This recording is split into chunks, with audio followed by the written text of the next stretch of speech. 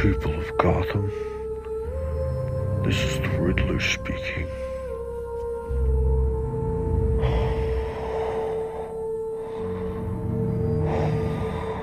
Now for a riddle.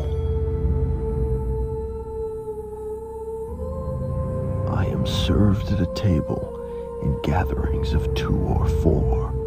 Serve small, white, and round. Make sure you keep score. What am I?